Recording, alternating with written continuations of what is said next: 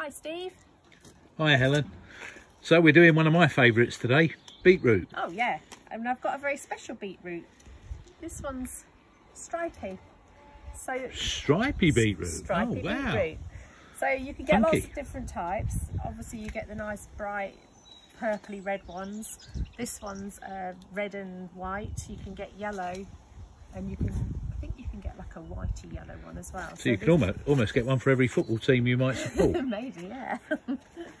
um, right, so what I have here is another module tray. yep. Um, I'm not going to sow all of these, but I just thought I'd show you this. It's They're, they're only tiny, but we're actually preparing um, some ground next door. It's not quite ready yet for me to sow direct. So I thought I'd show you how to do this. Um, so you just fill up again, like we did with the others. I'm only just going to do a couple of rows. And what, what you're going to get here is like little seedlings coming up. And then you could just push up the soil and then they pop out. Oh, cool. You, you don't get the root disturbance then. Excellent. So what I have done is, I've, in a, not a very clean uh, little tray, but I have soaked these in water for Right, about 30 yeah. minutes. Just some nice warm water. Okay. Um, it just aids germination, makes it a little bit quicker. So all I'm going to do, on, let me move that out of the way, is just get a seed and pop it in. one in each one, One again, in yeah? each one. Okay. And that's it. That is just how easy that is. They take about 7 to 14 days to germinate.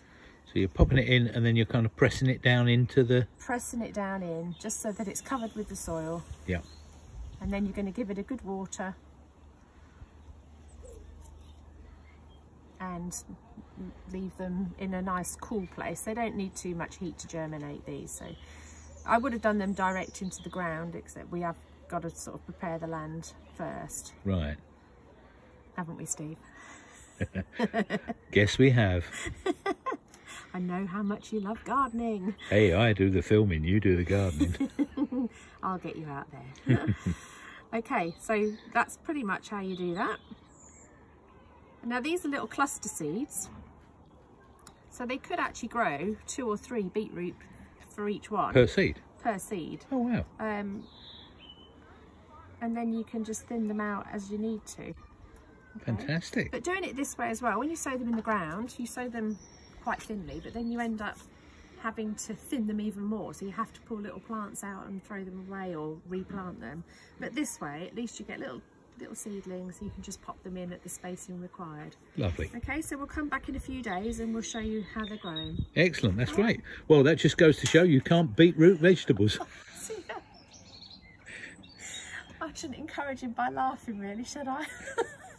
Thank you guys. See you soon. Bye. Bye.